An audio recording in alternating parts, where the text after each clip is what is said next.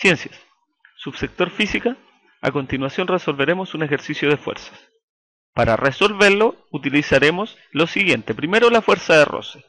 La fuerza de roce depende directamente del coeficiente de roce que se identifica con la letra griega mu. ¿Qué es el coeficiente de roce? Es la cuantificación numérica de la fricción que hay entre dos superficies. Es un número entre 0 y 1. El coeficiente de roce tiene dos tipos. El primero es el coeficiente de roce estático, que es el rozamiento que hay entre las superficies cuando el cuerpo no se mueve. El segundo es el coeficiente de roce dinámico, que es el rozamiento que hay entre las superficies cuando el cuerpo se está moviendo. Este coeficiente de roce dinámico es un poco menor que el estático.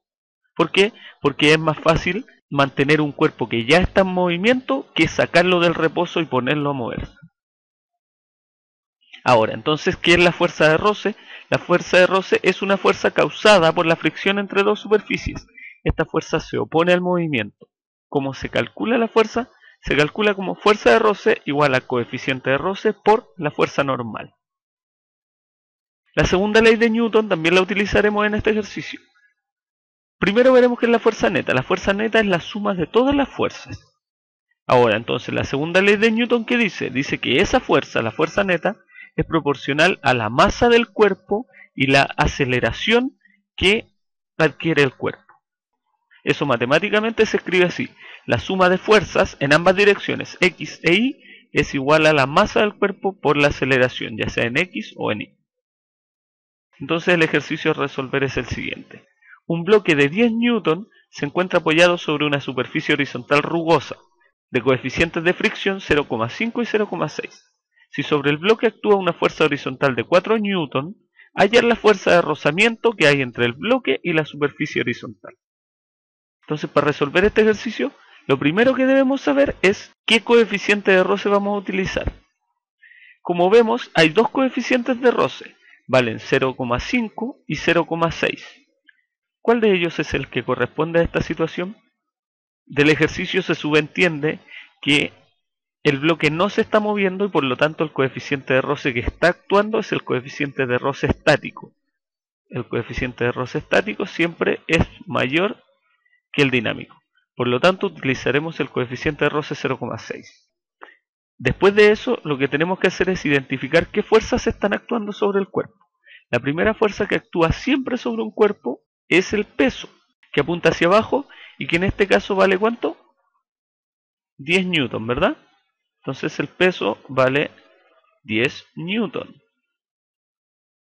Como este cuerpo está apoyado sobre una mesa, sobre una superficie, entonces se está actuando una fuerza ejercida por la superficie que se llama normal y que es vertical hacia arriba. No hay más fuerzas en la vertical. ¿Cuáles fuerzas están actuando en la horizontal? La primera es la fuerza con la que se está empujando. Sobre el bloque actúa una fuerza horizontal de 4 newton.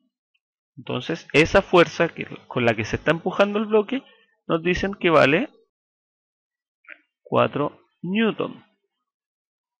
Y lo que queremos saber es cuánto vale la fuerza de rozamiento. Entonces sabemos que ahí, entre la superficie del bloque y de apoyo, existe un coeficiente de roce y por lo tanto existe una fuerza de roce que se opone al movimiento. Esas son todas las fuerzas que actúan sobre este bloque.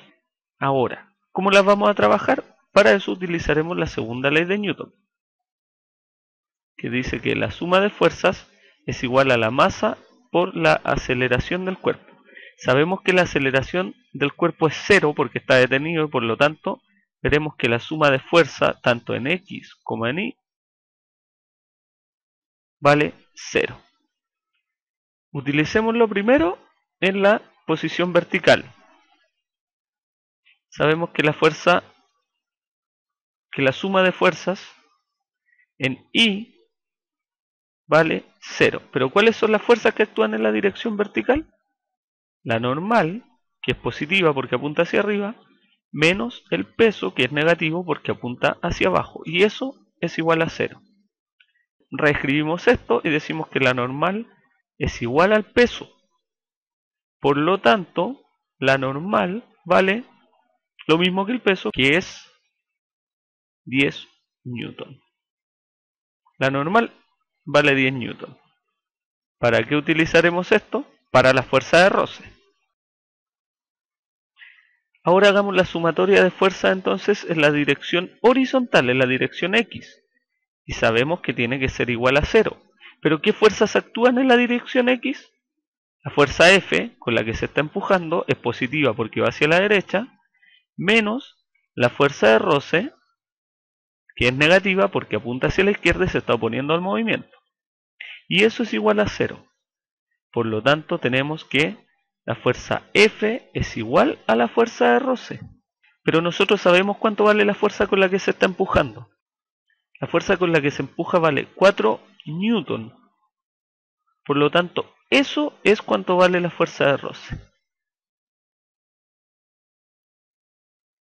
La fuerza de roce en este momento que se empuja con 4 newton hacia la derecha, vale 4 newton hacia la izquierda. No puede valer más porque lo que necesita valer es exactamente para contrarrestar para que esto no se mueva. Entonces, si empujamos con 4 newton hacia la derecha, la fuerza de roce va a valer 4 newton hacia la izquierda.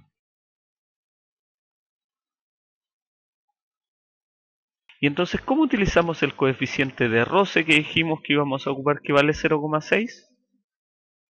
Lo utilizaremos para calcular la fuerza de roce máxima que puede actuar sobre este bloque para que este bloque no se mueva. Ya sabemos que en esta situación tal cual, la fuerza de roce es 4 newton. Pero ¿qué pasaría si nosotros empezáramos a aumentar esa fuerza? Lo que pasaría sería que esta fuerza de roce empezaría a aumentar. ¿En qué momento se empieza a mover? Eso es lo que vamos a ver ahora. Entonces la fuerza de roce máxima le vamos a poner aquí máxima, es igual al coeficiente de roce por la normal, donde el coeficiente de roce es igual a 0,6. Recuerde que es el estático. Por lo tanto, eso es 0,6 por la normal, que vale, ya lo vimos, 10 newton.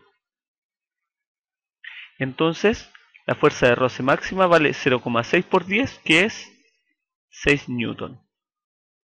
¿Qué significa eso? Que la fuerza de roce estática máxima es 6 newton. Es decir, que si nosotros esta fuerza, en vez de 4, aplicamos 6 newton, ya estaríamos en el límite. Si aplicamos un poquito más de 6 newton, este cuerpo se va a empezar a mover. Por lo tanto, la fuerza máxima que podemos aplicar es 6 newton. ¿Por qué? Porque la fuerza de roce máxima es esos 6 newton. Sin embargo, recuerde que cuando la situación es la que nos dicen, o sea que aplicamos 4 newton, la fuerza de roce que se opone al movimiento de ese cuerpo es de 4 newton, no más.